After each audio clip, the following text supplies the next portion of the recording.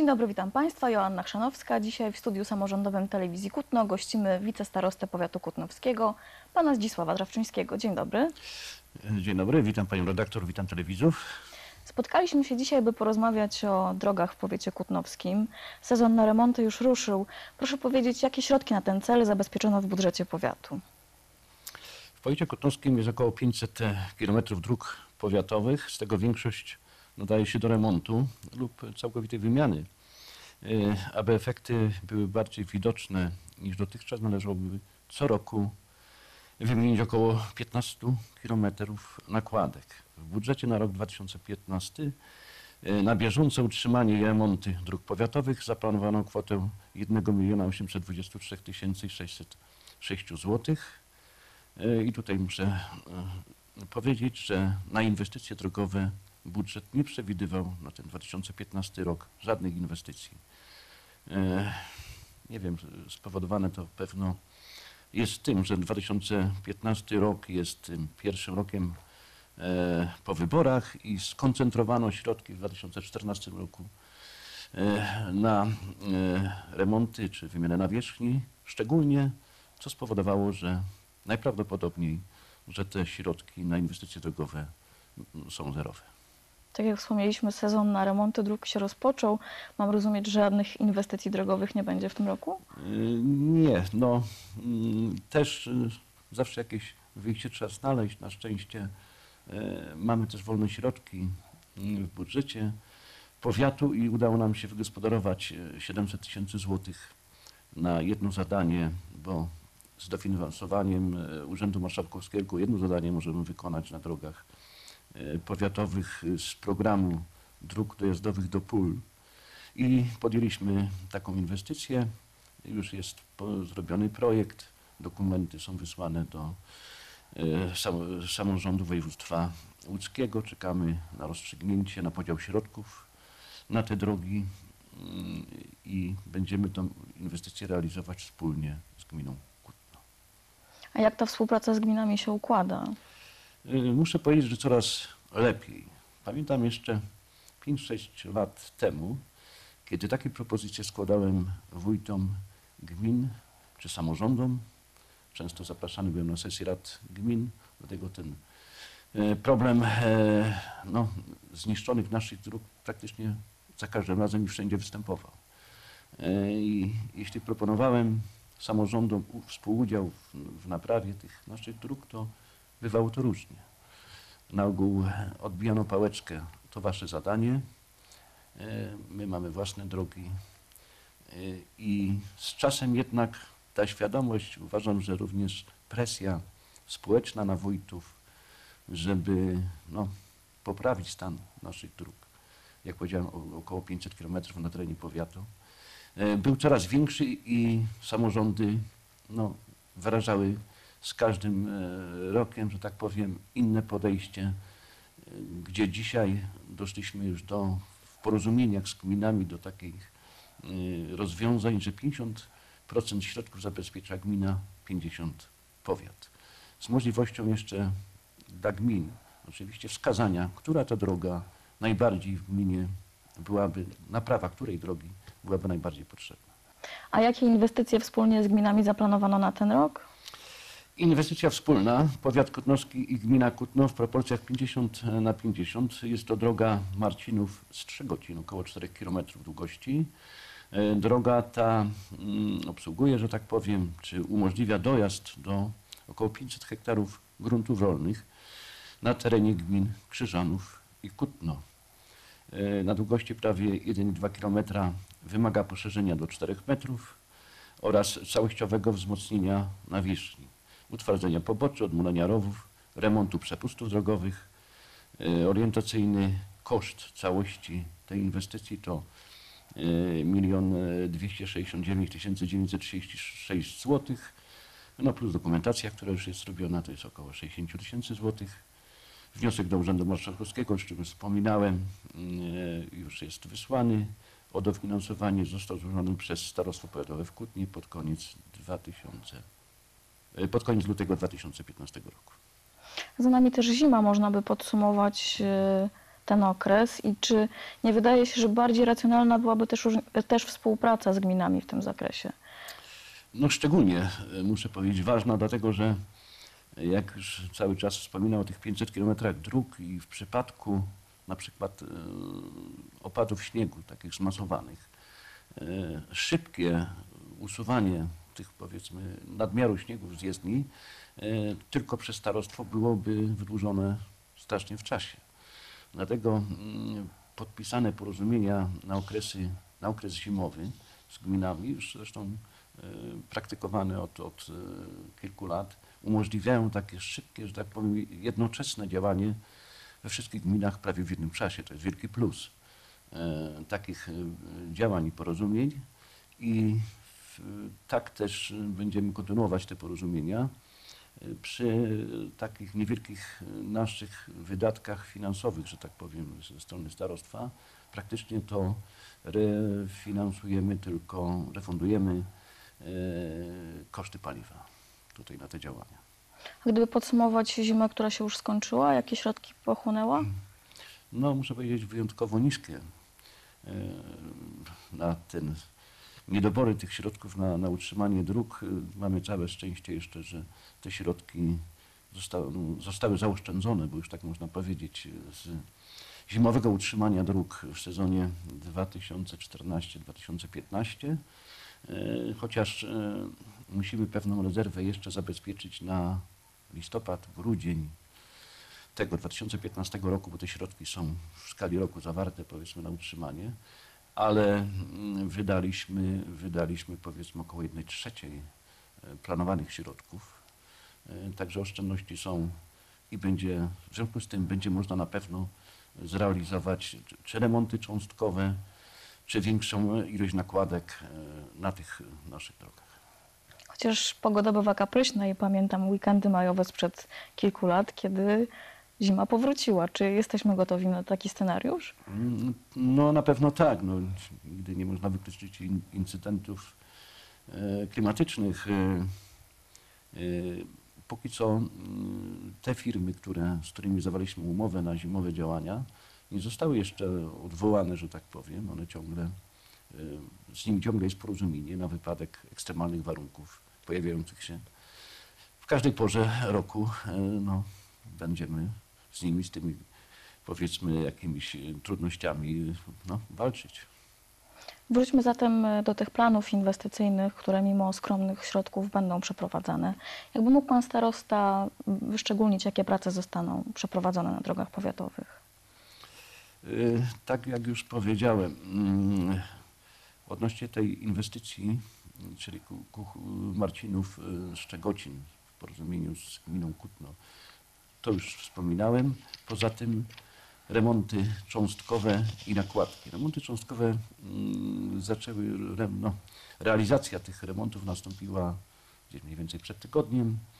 Od gminy Bedno zaczęła się, e, jesteśmy po przetargu, firma pana Nowackiego z Pniewa, jak sobie przypominam, z gminy Bedno, no, wygrała przetarg e, na sumę 326 bodajże tysięcy złotych e, i te remonty cząstkowe, mm, e, ile można wykonać, że tak powiem, tych remontów, w- za tą, za tą konkretną sumę, to powiem, że jest to około 7,5 tysiąca metrów kwadratowych nawierzchni, czyli łatania dziur, tak mówiąc na wprost, a obrazowo jest to 75 boisk do siatkówki, jakby skomasować to w jednym miejscu, e, te łatania.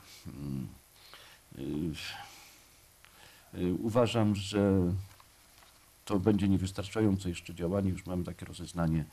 Docelowo mm, ta wielkość może się zwiększyć jeszcze o dodatkowe 5700 metrów, bo to rozpoznanie po, po zimie jest, no, wskazuje na większe ubytki niż na drogach y, tych, tej nawierzchni asfaltowej niż mm, początkowo przewidywaliśmy. Y, co jeszcze mamy? Remonty cząstkowe też są w planie. Remonty cząstkowe to wymiana odcinkowych nawierzchni dróg w całości.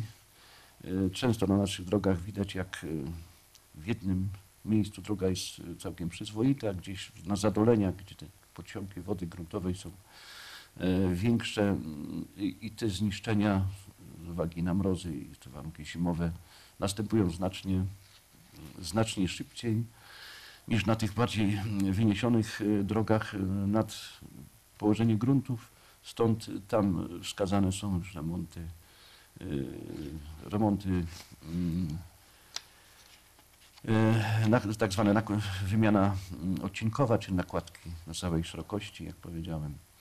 E, I, i są to w planie, mamy aż 11 takich nakładek y, dróg, na których te nakładki trzeba wykonać. E, Są to Kutno, Łanięta, Kąty, odcinek Łanięta-Kąty, jedna z dróg, następna Kutno i Mielno, Kołomia, Morzyce do przyjazdu PKP e, do Rykowa, następna Kutno, Kutno Antoniew, Witonia od Nowej Wsi do Szczegocina, Piąta droga Gosławice Orłów, Wola Kałkowa, Szewce Nadolne. E, Szósta Sokół Krzyżanów. Siódma stacja kolejowa Strzelce Kujawskie, Strzelce Oporów, od strony Oporowa do Poboża. Dalej Oporów koło Jakutno, e, Czesławów, Kręciszki, Wojszyce, Strzelce Owsiane, e, Przyzus, Sujki, od Sujek do Muchnowa, do Muchnic, przepraszam, i Głogowiec, Międrzew. E, Proszę To myślę, nie że to- wnioskować, że jest to kolejność, e, która tak będzie realizowana, ta kolejność tych e, remontów cząstkowych, przepraszam, nakładek. Decyzja co do kolejności zapadnie najprawdopodobniej jutro na zarządzie powiatu, gdzie będziemy rozważać te pilne potrzeby po prostu już mamy tam wstępną orientację. E, Członkowie zarządu również taką na jutro powinni mieć i będziemy decydować, których, które drogi są w najgorszym stanie, żeby od nich po prostu te remonty, te tak zwane nakładki na nawierzchniach dokonywać. Czy tegoroczny budżet i plan inwestycyjny, e, może jeszcze inaczej, domyślam się, że to jest kropla w morzu potrzeb e, i dróg jest, dróg jest znacznie więcej, które należałoby wyremontować. E, w ocenie pana starosty, co trzeba zrealizować w 2016 roku, 2017, jakie drogi jeszcze należałoby wyremontować? Y, No tak, na pewno mm, z tych tutaj wymienionych postaramy się y, zrobić jak najwięcej, być może mm, nawet wszystkie. Zorientujemy się jeszcze ile, ile te nakładki, na jakich odcinkach y, są konieczne. Przymierzymy to do możliwości finansowych. Y, Ale też rozważamy w 2016 roku rozmowy z gminami, zresztą takie już wcześniej też miały miejsce, przekazania odcinków czy dróg naszych, może całych naszych dróg, e, w, w gest do zarządów, samorządów gminnych. E, Niektóre drogi naprawdę mm, z swojej funkcji, jaką, jaką spełniają w danej okolicy, e, no, nie wynika to, że powinna być to droga powiatowa, bo ona często, często nie da się odróżnić od drogi gminnej. E, No, tak zostały skonstruowane mapy dróg powiatowych w Warszawie najprawdopodobniej, e, że one do realiów nijak nie przystają. I też jedna trzecia dróg, e, jak rozważałem z dyrektorem naszego Wydziału Drogownictwa, mogłaby spokojnie zostać przekazana na rzecz gmin. I też takie rozmowy będziemy prowadzić, co może przyspieszyć nam właśnie remonty docelowo wszystkich dróg. Skupmy się też może na szczegółach. W ubiegłym roku pamiętam głośne protesty mieszkańców gminy Oporów, między innymi miejscowości Jurków. Tam rzeczywiście droga znajdowała się w opłakanym stanie. Czy udało się już e, załatać dziury, polepszyć standard tych dróg? Tak, e, pamiętam te protesty, akurat nie uczestniczyłem wtedy e, w tych wydarzeniach, że tak powiem, bo, bo nie byłem w zarządzie już e, w, tym czasie, ale znam e, ten problem, wiem, że te, no nie wiem czy protesty, ale na pewno też przyczyniły się do tego, żeby mm, no, bardziej skomasować tam wysiłki. Ten odcinek drogi został już naprawiony. Chciałam również dopytać o drogi, które zostały zniszczone po budowie autostrady. Od dłuższego czasu cieszymy się już autostradą w kierunku mm, Gdańska czy też Łodzi. Niemniej jednak e, firma, która wykonywała e, odcinki tejże autostrady upadła. Jak ta sytuacja wygląda? Czy udało się e, odzyskać jakieś pieniądze za odszkodowania? No z przykrością muszę stwierdzić, że nie udało nam się odzyskać jeszcze żadnych środków. E, Podjęliśmy taką próbę, zgłaszając do syndyka masy podłościowej firmy Poldim, bo mówimy tutaj o tej firmie e, szczególnie.